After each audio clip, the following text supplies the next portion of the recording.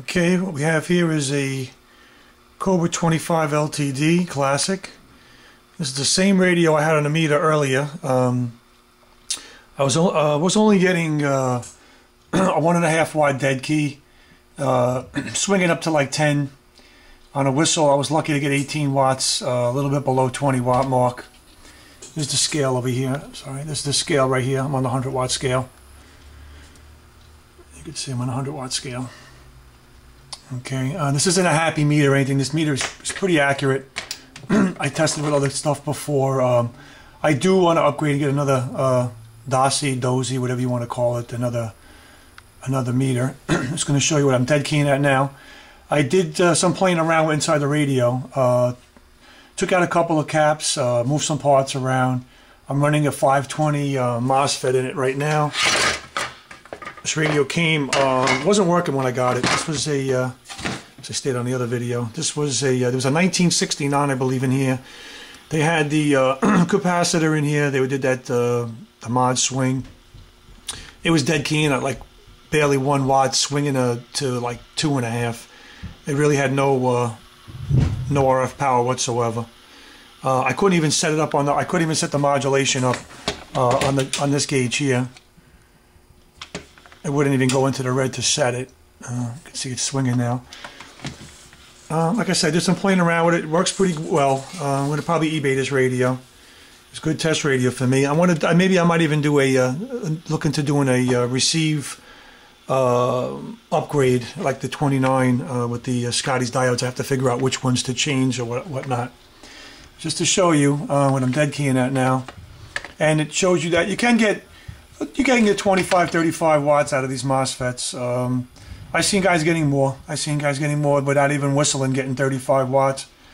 I uh, don't know how they did it, but uh, I'll figure it out. Okay.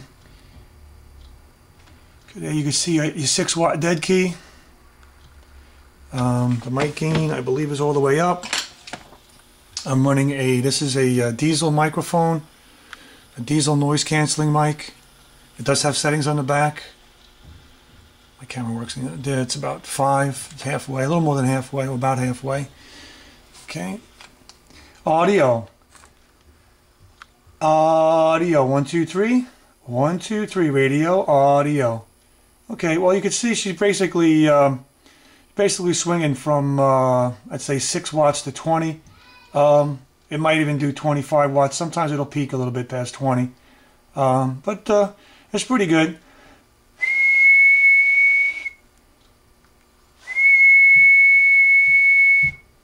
I'm getting about uh, 30 watts on a whistle, and she's like she's swinging 20, 25 watts uh, easy. Um, I'm not screaming into the mic right now. It's away from my it's away from my face about uh, good uh, six inches, and uh, she's still swinging uh, good 20 watts on a, on an audio. my meter's hooked up. I got it working pretty well now. Um, there you go. There's the audio. Oh, audio. Audio. There's the audio on the scale. Audio one two three one two three radio. Audio one two one two three. And that's it. Uh, you can see dead can. So she's looking. Pushing about uh, almost. Uh, everything's turned up pretty much. So, so a little over 100 100 uh, percent audio. It's almost it's about 200 percent. So that's pretty much it. Just wanted to show you this little rig. It does. Uh, I could squeeze it to 230 on a whistle, and it'll do a uh, 20 25 watts with the audio. And that's just basically uh, with that uh, 520 uh, final in it, mm -hmm. doing all the work. All right, 73s.